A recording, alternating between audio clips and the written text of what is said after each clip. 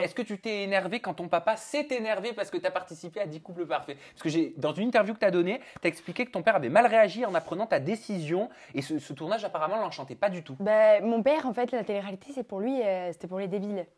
Ouais, et Ouais. alors, c'est pour les débiles ou pas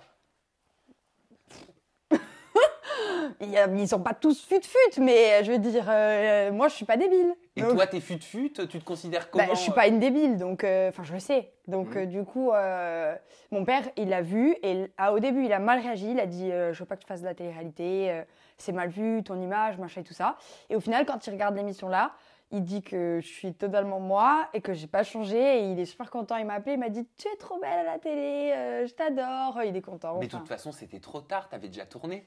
Oui, non, mais je lui ai dit avant de partir. Hein. Ah d'accord, mais tu l'as mis sous le, sur le fait accompli. Ouais, quoi. je lui ai dit, euh, papa, euh, je vais faire de la télé-réalité. Il m'a dit, euh, t'es plus ma fille. Ah carrément. Mais après, il- je lui ai dit, t'inquiète pas, tu sais comme je suis. En fait, il avait juste peur que je sois pas moi et que je fasse n'importe quoi. Parce qu'il avait eu beaucoup d'échos sur la télé. Et au final, ça va. Il voit mon image, il est content. Et tu as dit aussi, Ilona, que tu étais très déçue du casting masculin quand tu as découvert leur, leur physique. Pourtant, tu t'es rapidement mis en couple.